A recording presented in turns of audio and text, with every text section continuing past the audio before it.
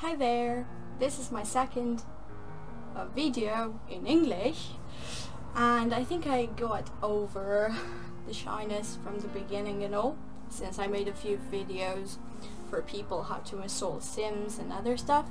So that kind of helped. So I'll get to it. A while ago I downloaded the free PaintTool SAI um, drawing program and now my friend needs it and she says she downloaded a crappy trial version and it didn't work. So I thought of um, adding it in a WinRAR file, uploading it somewhere and offering it to her. Now the thing is that you will need the link which I'll leave in the description um, I'll just, you'll just open it. When it comes up with this, at the top you have this arrow, which is download. So you download it. It should be pretty quick because it's quite small. So you open it where it went, whatever. Um, probably it would go in, well for me it goes on desktop because that's Opera's default uh, download thing. Maybe you'll have it in downloads or something. Anyway, this is how it goes. Right click on it, extract a PaintTool SAI English pack, and there you go. You open it.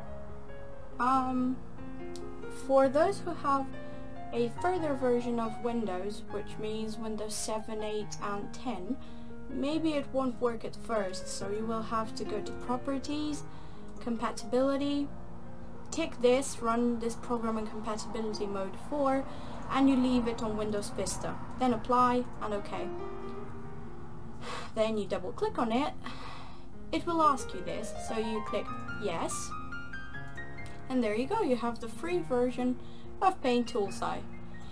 Now, for the further part in the video, this is for my friend. Well, it's um, for her since she needed help with something. Um, it was about downloading a base which apparently didn't work for her. This one. She downloaded it, but apparently she had a hard time trying to open it in Photoshop. So you go download again if you don't have it in the computer anymore. Then again, where it downloaded, right click on it, extract to P2, U, whatever it is. After that you open it, obviously it will come up with a Photoshop icon. But what you have to do is drag this on top of PaintTool SAI. Click on that because that's the sequence for the eyes, as you can see. So you want to see that. Then you go to File, export as SAI. uh, you have to do this if you want it as a PaintTool SAI project. Depends where you downloaded that or wherever you want to put it, just leave it like that and save it. You can rename it, and there you go.